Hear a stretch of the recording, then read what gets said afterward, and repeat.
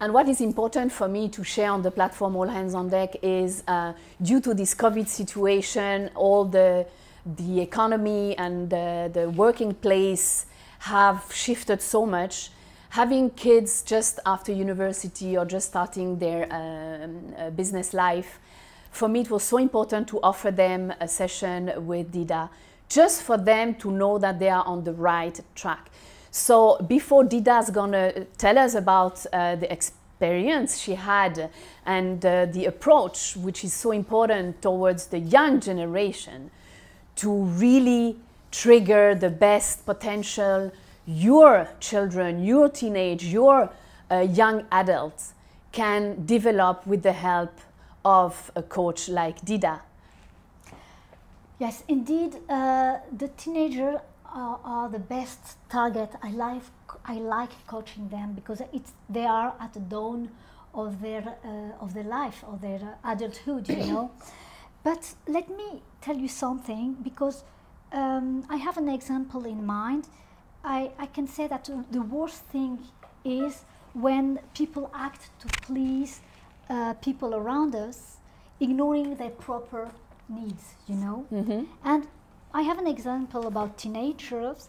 Uh, because at this age, you know, they don't know what they want uh, to do with their life. They are vulnerable, they're influenceable some of them. So at this age of instability, their entourage interfere to advise them from the best for their best benefit. But the problem is at a subconscious level, some parents transfer their dreams on their children. So they push them in a direction that doesn't match who they are. Exactly. You know that. Yeah, yeah. Because you are a teenager. Oh my God. Their yeah, personality, yeah. They, we, they ignore their personality. In our generation, it was what you want to do. You want to be business. You want to do. Uh, uh, you want to be a lawyer or you want to do uh, you know but there is some people we are artists we are musician i mean we can really yeah, it's very important point. It's, it's, it's, very important to respect their personality, their values, and their need and their passion, because this is how they will direct their, their future. Yeah, this is what my kids uh, notice with you. Huh?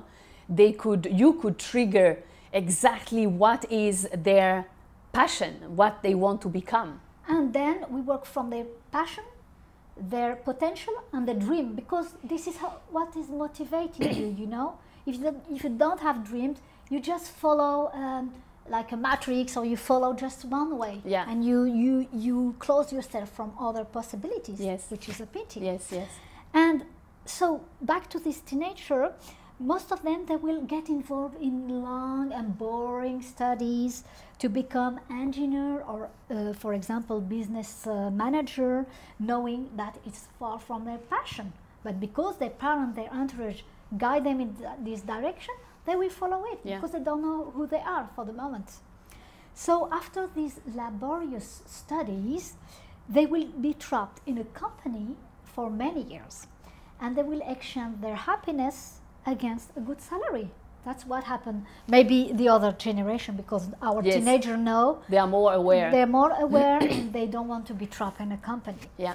The problem is what I'm saying is that uh, working for money and not for passion will kill people from inside. Yes.